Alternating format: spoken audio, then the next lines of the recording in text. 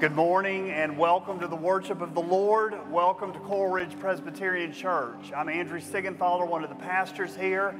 And if you're with us for the first time, or if you've recently been coming to Coral Ridge, welcome. We're glad that you're here.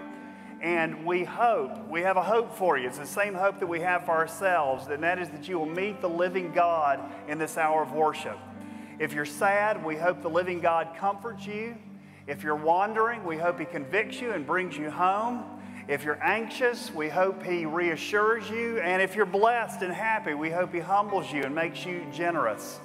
Well, listen to our call to worship. It's from 1 Peter chapter 1. Praise be to the God and Father of our Lord Jesus Christ. In His great mercy, He has given us a living hope through the new birth in Jesus Christ and He has given us an, an inheritance, an eternal inheritance kept in heaven for us. To Him be the praise and glory forever and ever. Amen. Let's stand and sing praise to Christ, our living hope.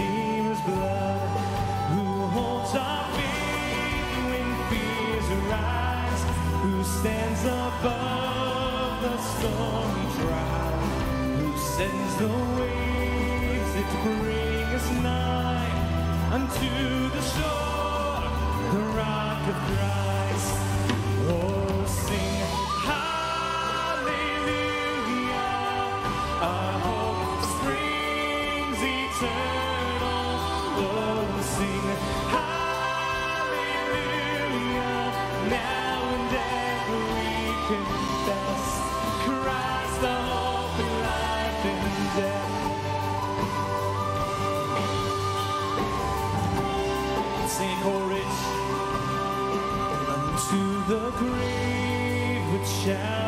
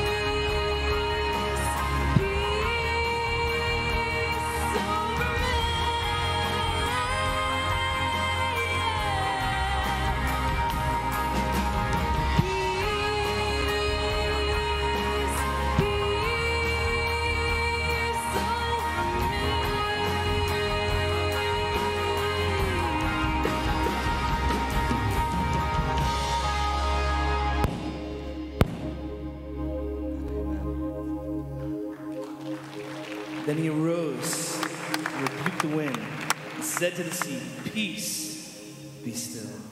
And the wind ceased, and there was a great calm.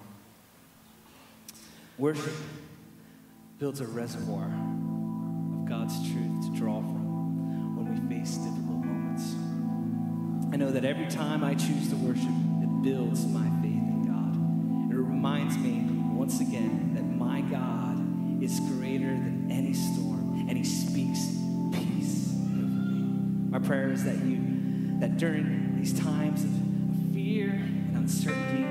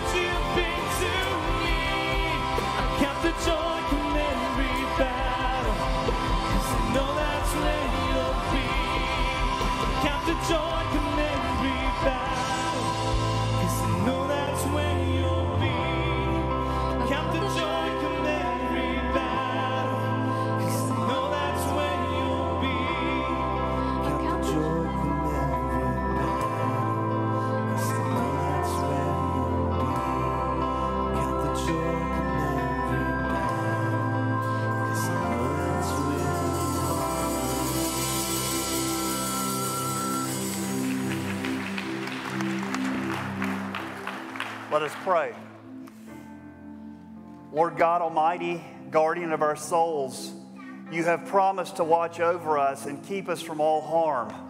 You have assured us again and again that nothing can separate us from your love. You have proved that all your purposes for us will be accomplished. Yet we worry about our troubles, real and imagined. We turn to created things for the help that you alone can give. We collapse when we should be strong and prove to be poor witnesses for you. O Lord, forgive us of our sinful fear and worry. Send your Holy Spirit to enable us to rely on you at all times. And may we remember that you have promised to be with us to the very end of the age. In Jesus' name, amen. Well, let's remain standing and let's affirm our faith with believers around the world and through the ages with the words of the Apostles' Creed.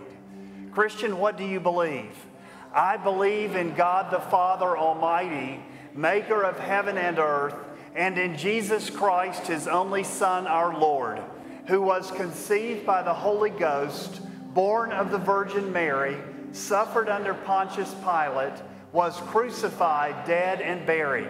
He descended into hell. The third day he rose again from the dead. He ascended into heaven and sitteth on the right hand of God the Father Almighty.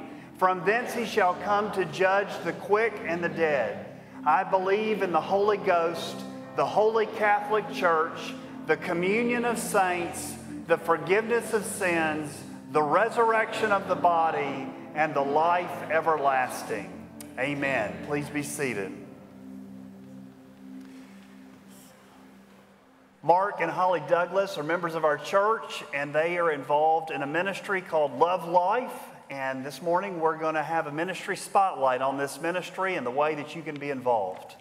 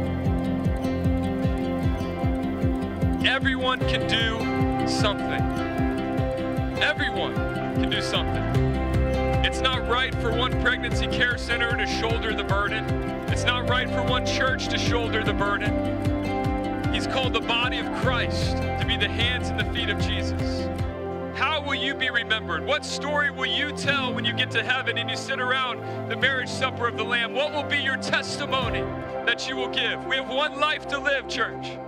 Let it be about building His kingdom and not ours.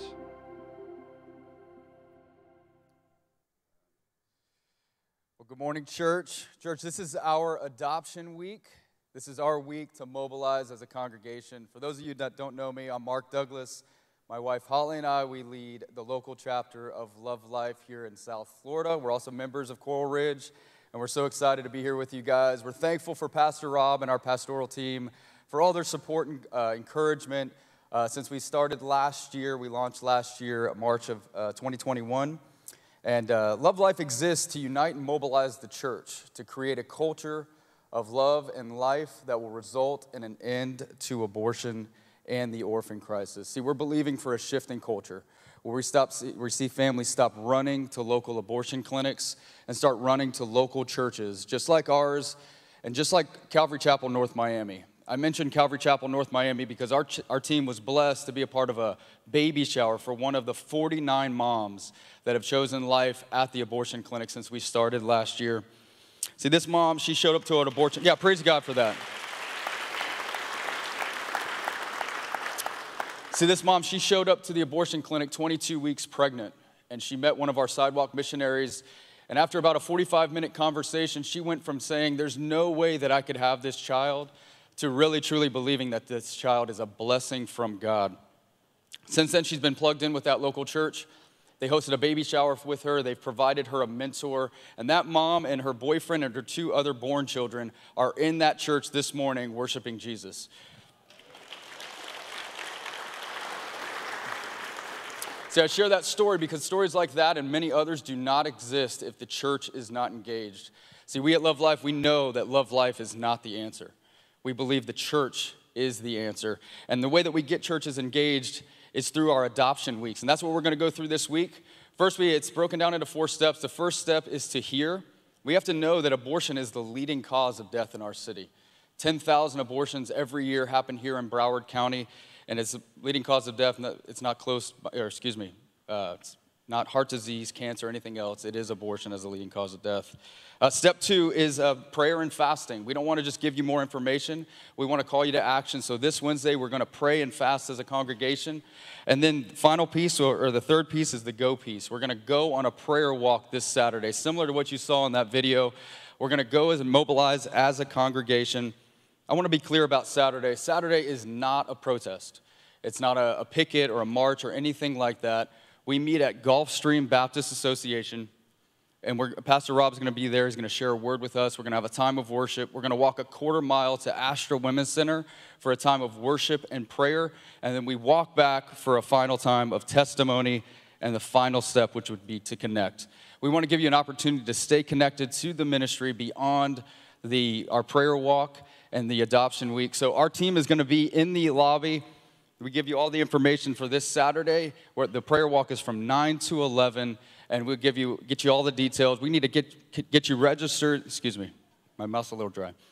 Get you registered for the prayer walk. And like I mentioned, we meet in Plantation at the Gulfstream Baptist Association from 9 to 11. Look forward to seeing you guys and meeting you in the lobby. God bless you guys. Awesome. Thanks, brother. Well, good morning, church. It is good to be with you. For those of you who don't know me or who are visiting, my name is David Bybee, and I'm the Director of Christian Education here at Coral Ridge. And I'm glad to be with you this morning as we continue the sermon series that Pastor Rob began a few weeks ago called Encounters with Jesus. Each week, we've been looking at specific stories of someone's personal encounter with Christ and have been considering the way in which encountering Jesus is transformative in all these encounters. Um, but today I want to tackle this maybe a little bit differently than we have in the past. Before Christ came into the world, before the Messiah had come, the Lord spoke through the prophet Isaiah, and he said that before the day of the Lord would come, that there would arise a voice in the wilderness. Someone would come preaching in order that the people would prepare themselves for the Lord's coming, for his arrival.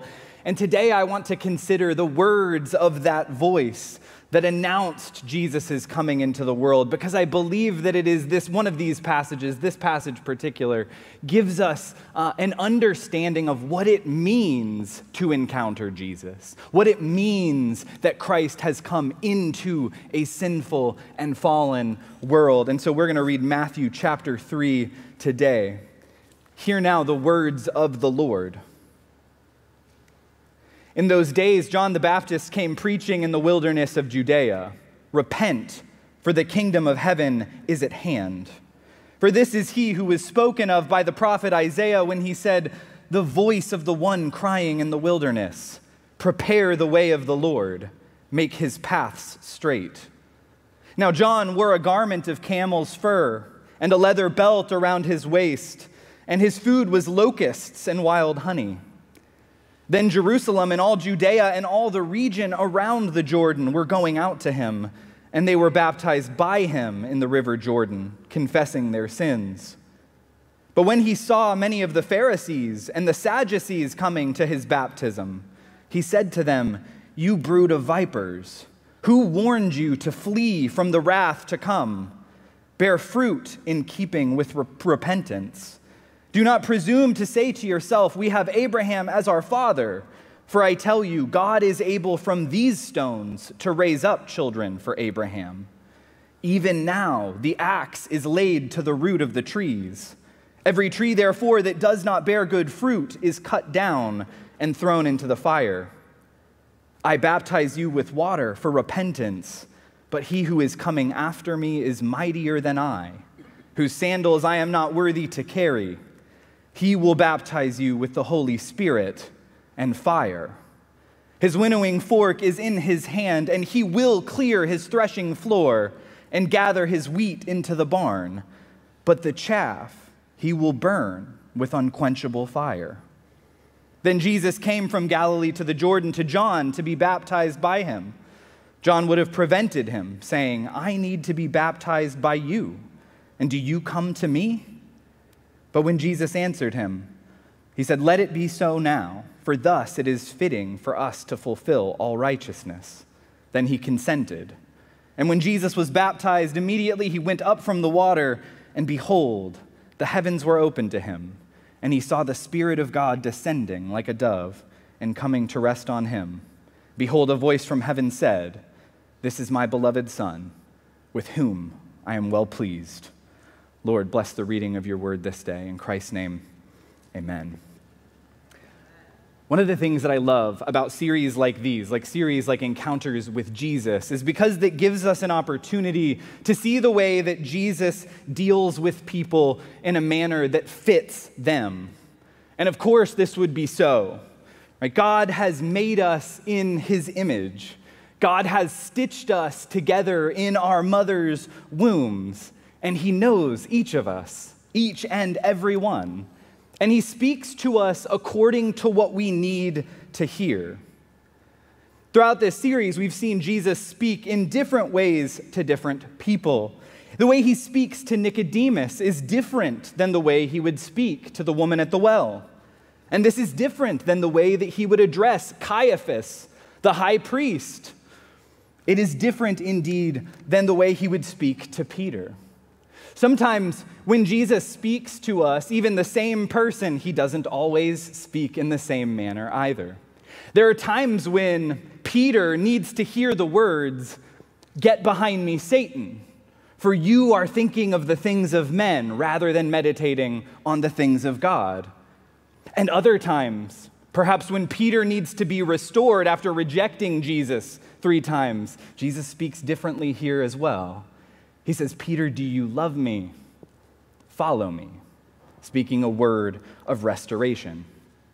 All of us are unique, and those image bearing differences are God designed. But as sinful people who live in a sinful world, our natural, sort of unique qualities and our unique experiences will encourage or carry with them particular blind spots or sinful tendencies that we are not often aware of. John Calvin once famously said that the human heart is a factory of idols. Naturally speaking, we aren't interested in submitting to God's ways. We'd much rather make God in our own image. And even for those of us who know Christ, we still are tempted regularly to try and reshape God to fit the kind of expectations that we would have or the preferences that we would have for Him. But this is what idolatry is. Idolatry is to live according to a false understanding of God as if it were true. We want to be our own God, so naturally we seek to remake him in our image. And one of the ways that we can unintentionally do this is by gravitating towards biblical narratives or specific examples of Jesus that most fit our temperament and that don't upset our sensibilities. This is because a God who is just like us is a God who will never demand that we do something that is uncomfortable. A God who is just like us will never actually call us to be in any way different, because a God just like us is, will seek merely to comfort us where we are. And this is one of the reasons why we particularly need one, one another, why we need to be in community one with another, why we need to read the scriptures and hear the scriptures in community.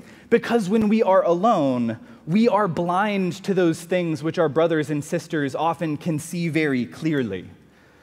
The reason Protestant churches emphasize preaching through the whole Bible is because that God promises to use the word as it is heard, as it is proclaimed, to actually open our eyes to truths that we don't want to recognize, to convict us of sin that we had yet to see, and to then equip us to go and live different kind of lives.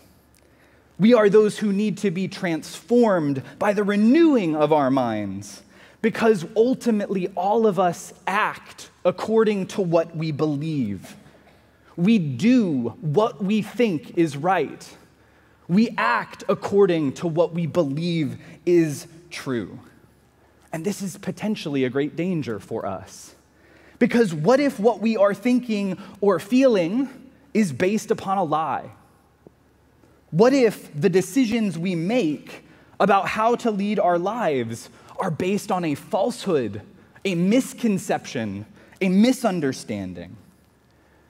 If we aren't careful to hear the words that Jesus actually speaks in the scriptures, it is possible that the voice we believe is Jesus that we're hearing is nothing other than our own voice, simply telling us precisely what we want to hear.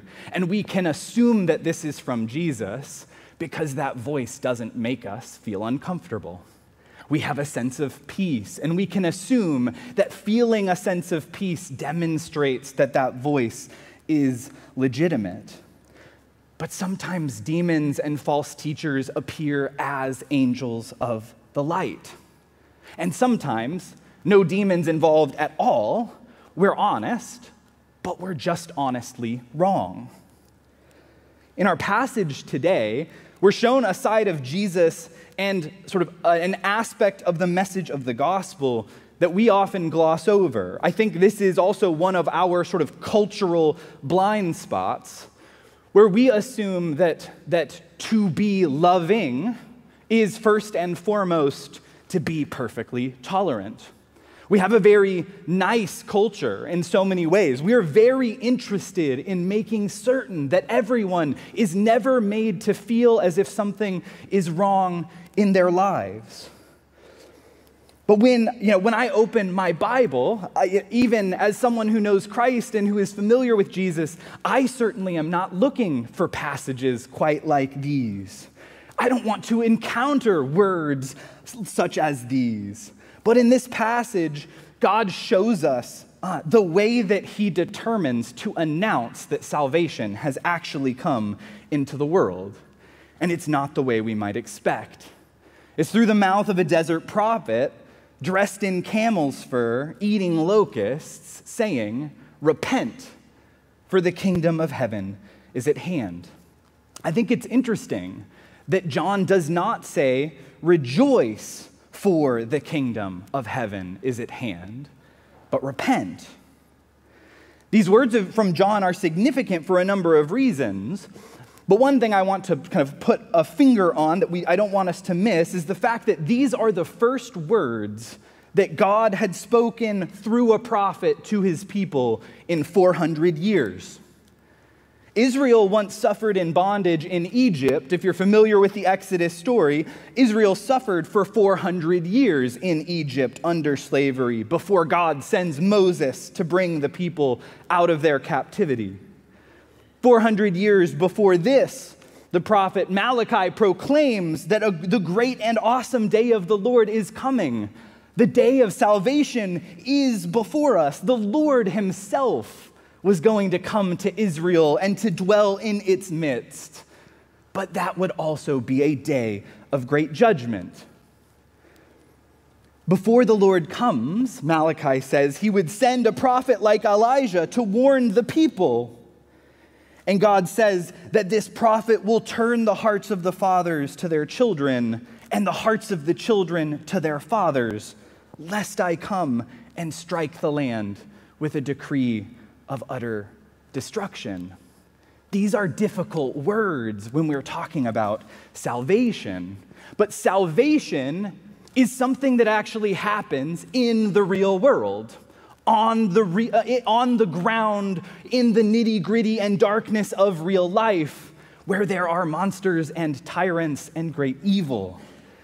God is saving the real world, not a figment, which means that God is actually dealing with things as they truly are.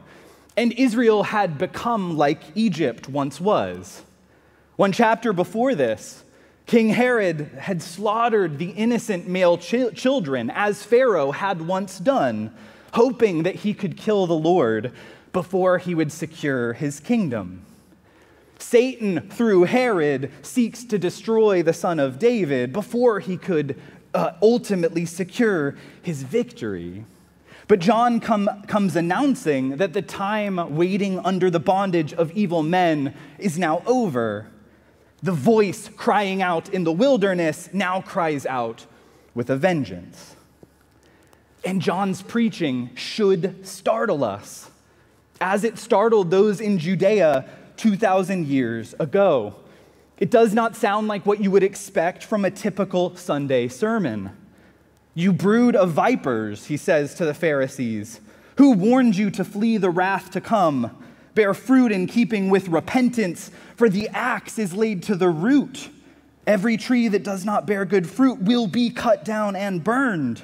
Who is this Savior who is coming? He says he will baptize you either with the Holy Spirit or with fires of judgment. He comes to gather his wheat, but the chaff is going to be reduced to ashes. Something I missed for many years but which I think has only become clearer over time as we read the scriptures again and again and get acclimated to the words of God and his revelation. I think the thing that, that has become clear is that God has always brought about redemption of his people through acts of great judgment. Think of how God saves Noah and his family. How does he redeem them? He redeems them in and through the flood. How does God save Lot and his family? He calls them out of Sodom and Gomorrah, but fire does indeed fall upon those cities. God saves Israel from Egypt, but he saves them by way of plagues and through the Red Sea, which drowned the Egyptians that pursued them, seeking to kill them. God gives his people the promised land after they cross the River Jordan, but the land could only be theirs if the enemies of God and their idols were devoted to destruction. A pattern emerges throughout the scripture. God saves his people precisely by bringing judgment into the world. John comes to Jerusalem like Jonah once comes, came to Nineveh, saying in 40 days, Nineveh will be overthrown. It wasn't a pleasant message for Nineveh. It's not a message you want to hear from a, a prophet, and it certainly wasn't comfortable. But it was an announcement of salvation. What does it mean for us to be redeemed? When we are redeemed, that means that God has actually overturned the real and genuine evil in our lives. Redemption is freedom from slavery. Redemption is ransom from bondage. But to be saved from evil means that evil itself has been revealed and dealt with.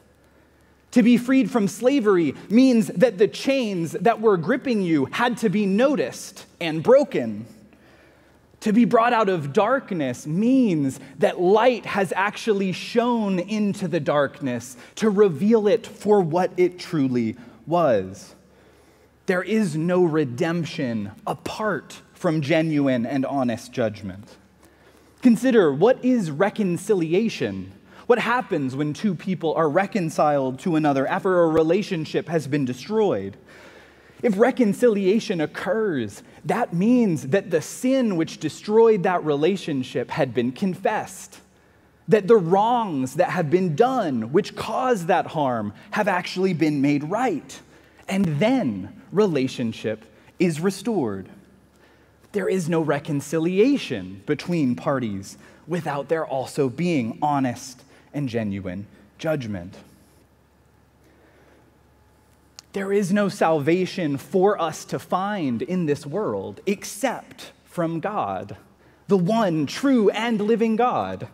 But to stand before God is to stand before the judge. And every time God draws near is a time when judgment falls. Because when God draws near, that means that we are standing in the presence of holiness. And holiness shows evil for what it is. Truth shows lies to be false. If we have been cleansed from sin, this means that our sin must first be named and acknowledged for God. John is here announcing to the people that God is about to redeem them. But the only way to receive that redemption is to repent when you meet him. John is clear you can indeed be saved from the wrath to come. But the only way to be saved is to confront the truth. This is why I believe John is able to honestly introduce Jesus' ministry in this way, with this kind of language, this language of judgment, because it is the truth, Jesus says, that actually sets us free. And God Himself, living truth, holiness incarnate, was coming. Salvation was coming. But that means then that judgment was coming as well. What does this mean for us? I think it means a few things, but I think principally, this means that we can only meet God as God actually is. There is no other God for us to meet. There is no other Lord from whom we might find forgiveness. And there is no other Savior that God has given to us by which we may be saved. God is not interested in a version of us that we present before the public. God isn't interested in seeing us covered in fig leaves of our own creation, pretending that we are not guilty. God is not interested in comforting us so that we would continue to commit the sins that have so easily and continually entangled us. God in Christ Jesus is seeking to redeem us, the real us, out of our particular unique sin and darkness, out of the actual experiences of our real lives on the ground. God isn't merely seeking to save us from our respectable sins, but from the ones that we are most terrified of anyone ever hearing about. And in order to experience this, I believe it is, as a counselor friend of mine, David Field, says, the only place that you can truly meet God is in the center of the garden, naked and ashamed. Because that is the only place where God can be met in the real world, in reality, where we acknowledge the truth of who we have become in light of who God is Himself. But when we meet God in this way, not seeking to defend ourselves, not seeking to make ourselves to be something that we are not, but vulnerably and honestly opening ourselves to God with His true scrutiny. This is the very place where salvation emerges. This is the place where mercy blossoms in all of our lives. Because that's the place from which God begins to restore and to redeem us.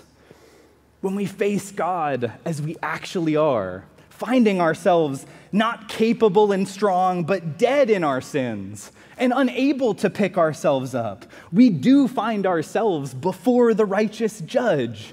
But, in that, but then is when we can meet him as our Savior. John does come preaching judgment, telling the people they must prepare for the coming of Christ into this world. But he does so as a prophet dressed in camel's fur. Why does this matter? Prophets don't always come uh, to just speak their prophecy. Sometimes they also act their prophecy out. Why is John dressed in camel's fur and eating locusts? I believe this is actually a signal of the hope that we can have, even in the midst of these difficult words. I'm grateful for Pastor Jeff Meyers for pointing this out. John is eating locusts in the first case because locusts are a plague that God sends in judgment. And John is warning that judgment indeed is coming. But he's wearing camel's fur. And the word camel appears in one particular chapter in the Bible more than any other. It's in Genesis 21. In Genesis 21, we are told a story of Abraham sending a servant with an enormous number of camels in order that the servant could go and find a bride that was fit for his promised son. So that the servant could go find a bride and secure a bride, right, that would be fit for Isaac, the miracle child, the one that would carry along the faithful line. And in Matthew 3, we see something similar. The father is seeking a bride that is suitable for his son, and he sends a servant covered in camel's fur to prepare the way and to call them out that they would know he was coming for them and that they must respond in humility. This is why to encounter Jesus is to encounter judgment, because to encounter Jesus is to encounter the Lord who is zealous for his bride. Adam failed to protect Eve in the garden because he refused to actually fight against evil in his midst. He refused to stomp the serpent who came to deceive his bride. And his failure has plunged humanity into the misery of sin. But Christ does not share in Adam's weakness. Christ comes into the world in order that the evil of this world and that the, all that assaults his bride would be overturned. Jesus comes in order that those of us, evil men and women, guilty men and women, might become clean, restored, new creations who can live new lives that we did not know before. But this coming of Christ into the world is the announcement of both salvation and judgment. But the Lord does not leave us as we were. Right? In his body on the cross, Jesus has condemned us, indeed, and our sin. He puts us to death in his own death. He kills us and our wickedness as he dies on the cross. But he does not merely forgive us, he makes us new. At the baptism of Jesus, God proclaims to the whole world, This is my son. the only Son. He alone is the Savior of all. And all of us who have been baptized into Christ Jesus have also now been marked as God's children in Christ. To be baptized, Paul says, is to be united to Christ's death. To be baptized is to die to yourself and to the old way. Right? Noah passes through the waters of the flood. The old world is gone.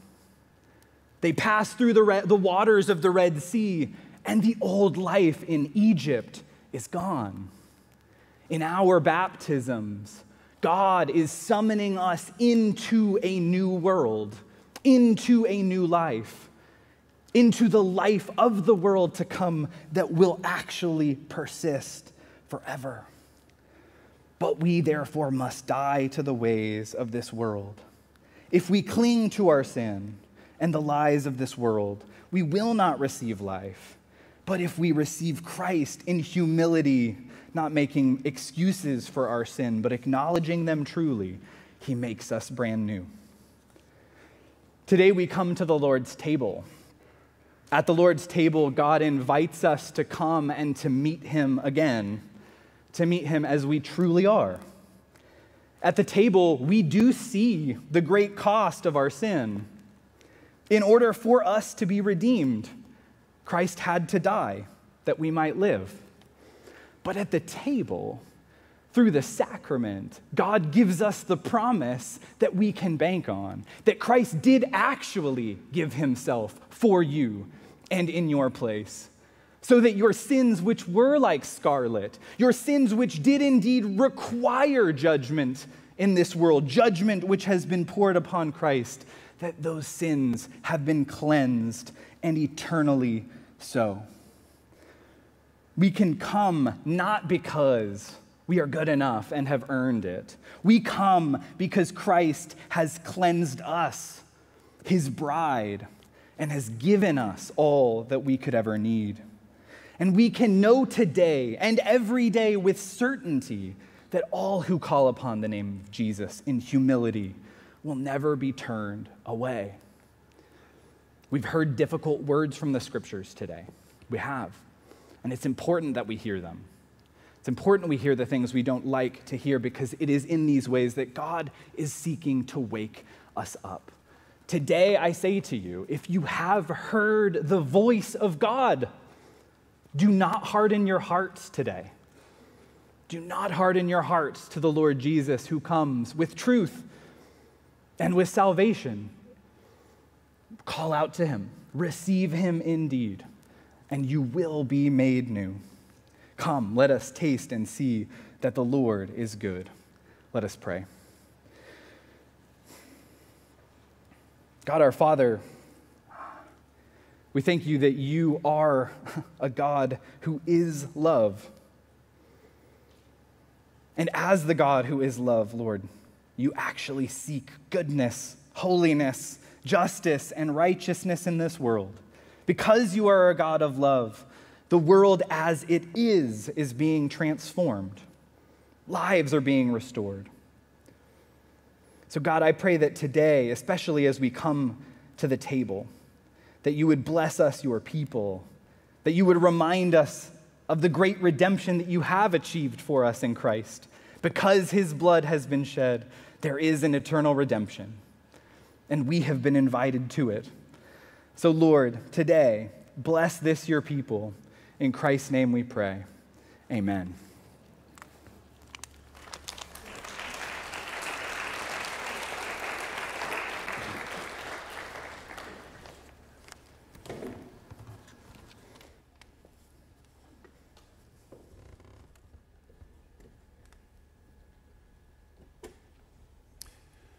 Thank you, David, and thank you for those uh, great words of salvation and a reminder of how God does indeed save us through Christ. You know, in Old Testament worship, in the early, uh, the, the Hebrew church, there were a number of sacrifices, and there was a sacrifice called the fellowship offering. It was always offered at the end of the service. And what was unique about that particular offering was it was the only offering in which part of the animal was actually eaten by the worshiper. So the animal was killed, it was cut up, A part of it was put on the altar and burned. That was like that was God's part. A part of it was cooked and eaten by the, the priests, and a part of it was cooked and eaten by the worshiper. And what do you think that signified? Well, just think about it. Who do you eat with? You only eat with people with whom you are at peace.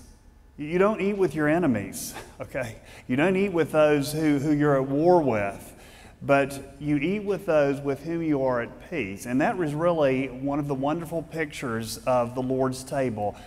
God Himself is offering to eat with you.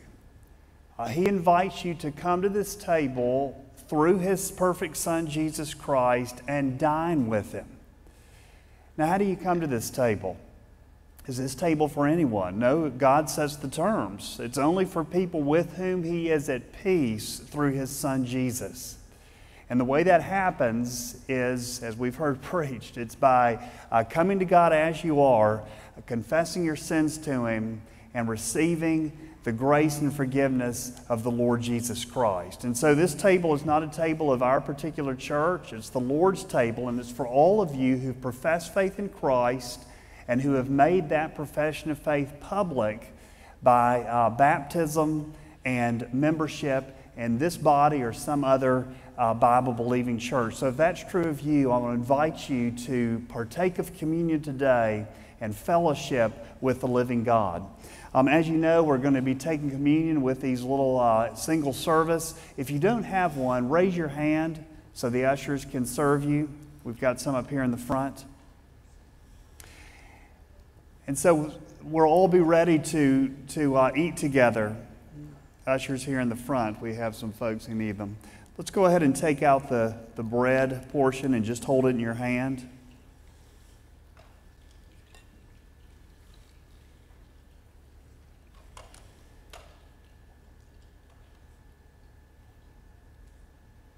A few more over here. And let's pray together.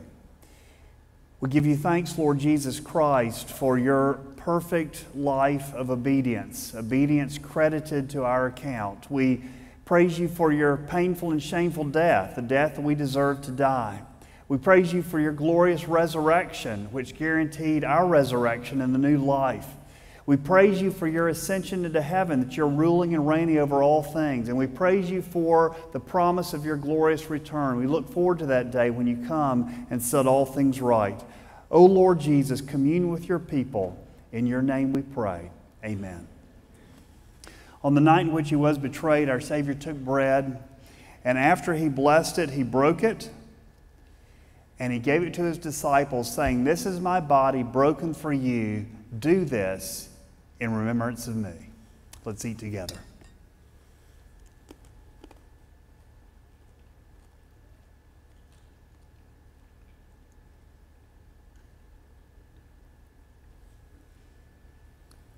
Let's take your cup and let's open this and prepare to drink.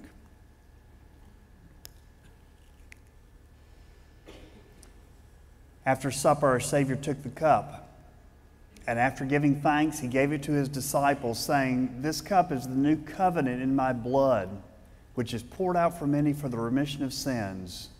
Drink from it, all of you.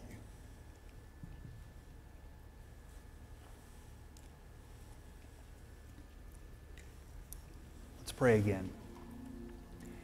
How amazing it is, Lord Jesus, to think that we commune with you, that sinful creatures that we are, that you lift us up into the heavenly places and we enjoy all the blessings that you've secured for us.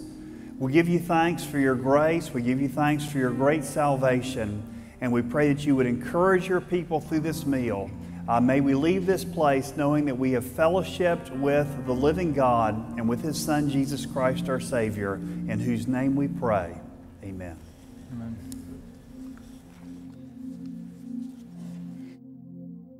For worshiping with us at Coral Ridge. We are a gospel centered church that equips culture shaping Christians. For more information on the church, our studies, and upcoming events and live streams, visit crpc.org or download the Coral Ridge app available now in the App Store. To give to the ministry here at Coral Ridge, visit crpc.org/give. You can also mail checks to the address below. From wherever you're watching, thank you for worshiping with us this morning.